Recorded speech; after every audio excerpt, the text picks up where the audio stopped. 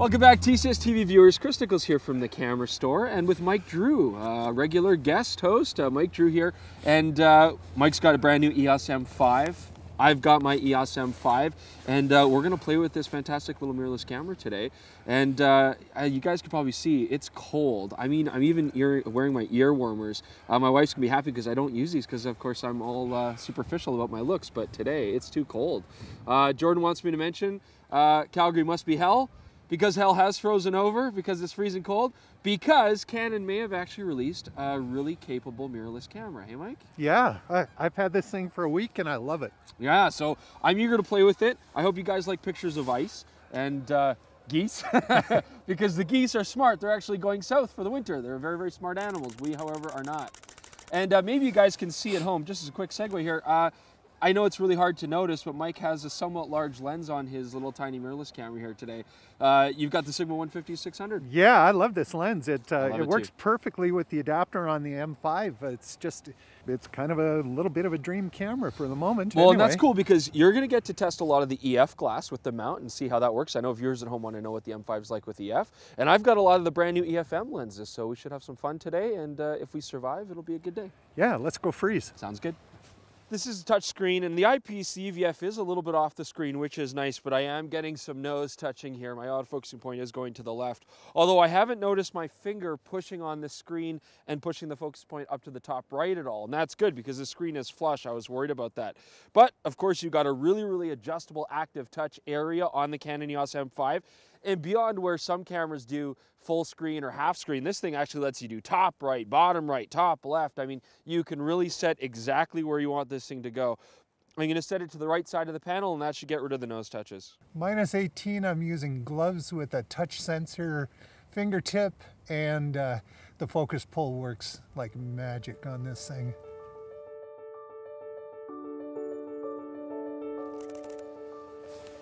Sweet.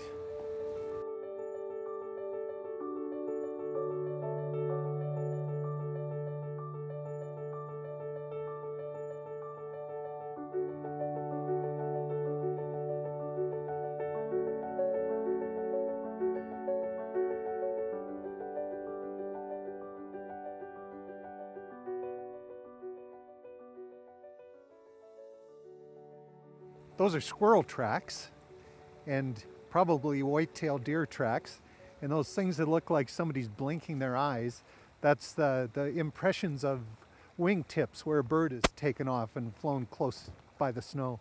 The screen has kind of got some ice frozen onto it because it's so damn cold. But if I swing around and put it over to Chris, it's immediate. And just, it switches from the, the back screen to the eyepiece in a blink, literally. I just took some video of the ice going by here, and uh, this was at a 320 millimeter equivalent handheld. Uh, I'm on the 55 to 200. I've got the image stabilizer turned on in the lens, but I'm also trying the digital stabilizer in video. You're gonna get a little bit of a crop, but it's not a huge crop, and uh, very impressive. I mean, nice and stable. I'm not noticing any sort of the weird jello-y stuff that we've seen on, say, the other cameras. Uh, it's doing a good job. Here you can see the footage without the uh, digital stabilizer, but Overall, very impressed with how well I can hand hold it. Overall, at the start, pretty impressed. Okay, this rock's about 20 feet away, and the geese over there, about 300 feet away. That's how fast that focus is with the 150 to 600. Uh, I'm having actually a lot of fun playing with this macro 28 mil. Beautiful little lens. It's a 3.5, but it's image stabilized STM motor. Really nice compact size, and uh, it's actually giving us two stages of macro. And when you go to super macro, I mean, I'm getting better than one to one off this sensor. So really impressive. I love the close-up detail. Uh, that being said, you know, it's it's not a big long telephoto macro, so working distance is very poor. You got to basically be touching the subject. And in order to help you with that that, they did incorporate this little LED light. Hopefully you guys can see that. Two stages of strength there. Um, it's not a lot of light. You know, testing it in the dark camera store, it was maybe giving me one more stop of light. But when you're really up close like that, it's going to help you out a little bit. It's a cool idea. Love having that uh, exposure compensation dial right there at your thumb. Even with gloves on, it's really easy to turn it. The viewfinder doesn't seem to give you a real accurate representation of what the, uh, the picture is going to turn out like, whereas the screen does, which is kind of annoying, but I suppose there's worse things. Okay, Mike. So uh, I'm just adjusting my hand hand warmers here. Uh, so you've had the camera for about a week now, but uh, what are you finding with the handling so far? Well, I, I, I find the handling uh, really nice. Coming from the 70D to this camera, it's uh, it just fits. It's the the grip is deep enough for my long fingers. It's a little bit shallow through here, but because you got such a good grip, it uh, doesn't really make much difference. You know, for me, I feel like this grip is made exactly for my hands. I've always found the M's comfortable to hold. For me, my fingers go right to the two dials, you know. The only thing I will say is maybe because of the way that my hand's smaller when I hold it, my thumb does cross across the top right of the screen. And uh, it's not changing my autofocusing point, but it's always putting me into the quick menu. So Yeah. I don't know if we just call that a convenience factor, that it's always there ready to change as I need to. I guess so. Uh, no, it's annoying. Um, but uh, yeah, overall nice handling. The Wi-Fi button here is pretty cool. Tell us about that. You just press that, and then it'll give you the option of where you want to connect. Your phone comes up, tap that. Just a quick button. Go to your Just phone. Shortcut right to it without having to go into the menu. Uh, we've got mic jack over here, standard RS60 E3 cable release, which is great. I mean, a lot of 70D users. Well, you know the little the little mini phone Oh, kind that of thing. cable release. Yeah. Yeah. You know, any sort of 70D user, 60D user, going to Yep. have those cables, but no headphone jack, and that's that's a little disappointing. I mean, I know uh, we're probably going to compare this camera to the 80D because it's got very similar internals. Yeah. But headphone jack would have been nice. It would have been nice. Uh, also, I would have liked to have seen on the screen itself the Mm. audio levels when you're in manual audio. Oh, and they're not giving it to you. No, eh? no, you got to go hit the info button to get your level to show up, set it, and then hit the info button to get out so you can see your whole screen. Right, it's supposed to be able to customize Why? It should, there's plenty of room for it right there Hmm. on the screen. Now, Mike, I know as a journalist, you're shooting a lot of stills, but you're also shooting a lot of video. In fact, Yeah. maybe nowadays even more video. Oh, video all the time. Yep. Yeah. So I've played with the 80D. I mean, we know what the video's like on that. The 1080 on the 80D is, is good, a little soft, and I'm still seeing that here. And naturally, people are going to compare this to the A6300 from Sony because they are similar sizes, similar price points. I mean, let's just say the 6300, of course, 4K video, good sharp video. Although the 1080 isn't that sharp on the 6300 either. Uh, it does have 120 frame per second slow mo. Here we're at 60 frame per second. Yeah. What do you like about video on this camera? Well, I, I just, um, you know, I don't shoot 4K really Yeah. because I'm shooting for web, I'm shooting for newspapers. I don't need 4K. Exactly. So I don't miss it. Um, what I really like though is the touch screen on this thing. It's Mm. phenomenal. It's just, it, I mean, you just literally touch. Where you want it to go. focus moves and it locks. It's, it's just great. Yeah, we actually did a video sample, and again, tracking, really, really good job. Yeah, tracking was just- incredible. Jordan was sprinting like a jackrabbit, and it just stuck right on him and right up until he's like a foot in front of the lens. Absolutely. And of course, Sony on the 6300 has a distinct lack of touchscreen. Uh, but even on the 6500, although it's nice that you can touch, you can't do it through the EVF during video. Okay. But what's Yeah. great about this is you can have it up to your eye Yep, and you can be touching. I mean, you can't do it on the 80D either, right? You No. have to be using the back screen and touch. But Yep. here, you can have it up against your face and still track. And that's a really cool feature. Absolutely. You know, the only thing I would say that I com- complain about on this in a handling perspective, and again, it's not a huge thing, but I do wish that we had a fully articulating screen. I mean, Canon do choose to do that on a lot of their bodies. Uh, this is very much like the Sony's, you know, just this vertical. Just add another half a centimeter, give us that fully articulating screen. I mean, do you find that useful to have on the 70D? I, yeah, I do find it useful. Yeah.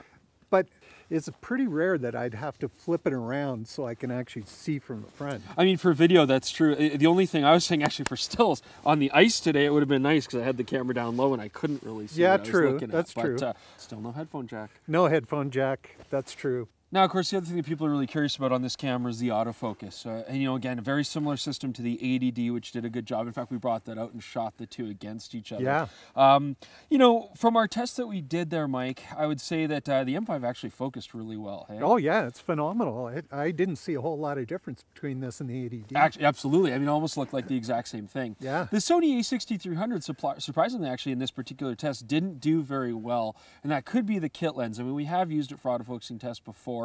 It is a very fast focusing camera as well. Now, buffer rate, not great. I mean, the Yeah. 80D will just keep shooting. This camera does shut off after about, oh, I don't know, RAW plus JPEG. I was only getting about eight or nine frames. yeah, But- that sounds about right. yeah, and again, the A6300 from Sony, worse. Yeah. You know, it never had a good buffer, so you know you'd have to go 6500 to do better there. What about with the adaptive glass? Because I haven't used it with the F stuff. You know, um, I had the original M, so I uh, I was one of those. I guess maybe you'd say I was foolish, but I, Early I like adopter. that We'll go camera. Yeah, early- early, early adopter. adopter.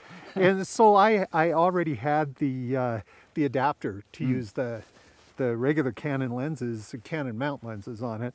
And uh, I've been shooting quite a bit with it, Okay. especially with that 150 to 600 Sigma. That's the one I really wanted to use because I shoot so much wildlife and, And nature sports, yeah. stuff and sports, and um, it uh, Hmm. works phenomenally. It, it works really well. I was shooting some stuff at a hockey game last night uh, at ice level NHL players, and I was able to Hmm. lock onto a player and just follow him around. Even when people were crossing in front, the it didn't search. It Yeah, stuck right there. I was really impressed with that. It's nice to see that with the adapter and EF glass, we're not getting a compromise. And again, just again to go to the Sony comparison with a Metabones, it works, but the minute you put adaptive glass on there, your autofocusing speed goes way down. Yeah, Yeah. So, Mike, I had a lot of fun shooting today. I mean, this is this is my first experience with the M5, and of course, I'm familiar with these cameras, but I really liked it as a system. But my question to you is, uh, you obviously are no stranger to SLRs. You have no problem lugging around a heavy SLR. You've done that your whole life. So, why did you buy this camera? Like, what does this do for you that that wouldn't do? we have to shoot a lot of video. Right. and uh, more and more all the time. And I've been waiting for a camera like this from Canon. So I've got this electronic viewfinder I can put up to my Hmm. eye, have three points of contact, and just hit the button and record video. Right. Uh, to me, that's worth every penny of the price of this camera. Yeah, I mean, I guess the thing is, we, we talk about the 80D a lot when comparing this camera, and one of the things I did want to mention is that's got an optical viewfinder, but otherwise you have to shoot your video off the back screen. And with this camera, 2.3 million dots in the EVF, I'm kind of in the camp now that although I love optical viewfinders, I think that EVFs are just as good or better. I don't feel like you're really missing out now using electronic viewfinder, and I like the advantages it gives you. You know, and again, being able to do the touch auto, autofocus while up to the viewfinder, yeah. really Yeah, cool. there's all kinds of advantages to that, but I got to say hmm. that I still prefer the optical viewfinder. For this particular camera, for the use that I was talking about, it's perfect. Now, when we first heard about this camera, Mike, the SM5, everybody online was saying this looks like an 80D just transferred to a mirrorless body. Uh, and so I'm going to preface this uh, rant that I'm about to go on because I did love this camera. I think it's a great step in the right direction, but I don't agree that it's an 80D in mirrorless format because we're still missing some key stuff. Image quality is the same, focusing speed is the same. You know, that's all good. Low light performance, you guys can see some shots here. Very impressive, very similar dynamic range. But there are some features we're missing. Things like uh, weather sealing, not weather sealed. No headphone jack. No audio control to have right on Yeah, screen right now. It's crazy. kind of That's annoying, not right? Um, you know, things like the buffer rate, although the focusing's the same, this camera won't shoot quite as long as an 80D will in sequence. And I mean, the flash, like, what do you think about that? Why they couldn't have used this to trigger other Canon flashes, Right. like on virtually every other Canon with a pop-up flash. Right, and that's, That's- one of the main things that, that keeps us from just tearing this off the top of our Exactly, camera, right? And it's not here. You know, it comes to video as well. We're not getting the ALL-I. You know, I don't know why they didn't have the all intra compression on there. I like the screen, but again, it doesn't fully articulate, and I know a lot of people like that for video work. Uh, and the time lapse, you know, that was the other thing. Hey, the 80D, you could do interval timing, get full resolution JPEGs, and then build your own time lapse. Exactly. This does it in movie. It's a really cool interface, Yeah. but you don't have the option of having the JPEGs afterwards, so you'd have to go to an external. Your uh, iPhone does the same thing. Exactly, right?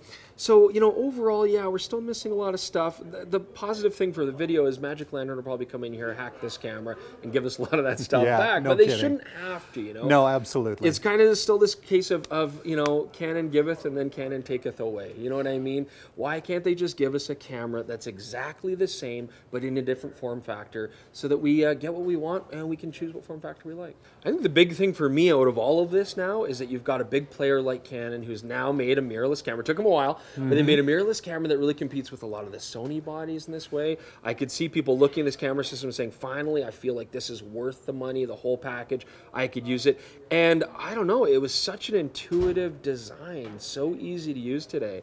And I think uh, it really puts the ball in Nikon's court now to maybe hopefully inspire Yeah. them to start competing in this market. we'll see what happens. Yeah, but I, it's good to see. You know, it's funny. This year seems to be where Canon has decided to bring their cameras up to where everybody else is going and make it very, very competitive. Uh, last thing I want to say is thanks very much for joining us as usual. Hey, my Mike. pleasure. Yeah, we always, Always love having you out, and uh, I'm glad that we got to shoot these two cameras together and get your personal uh, opinion about it. Yeah, thank you. It was fun. Yeah, absolutely. So, guys, don't forget, check us out on Instagram. You can see our photos on there. Check out Mike's webpage, absolutely. And the On the Road column, he does a great job with that. So, see more of the work that he's doing there. And uh, tweet us, check us out on Facebook. Stay tuned, keep watching. We'll see you guys very soon.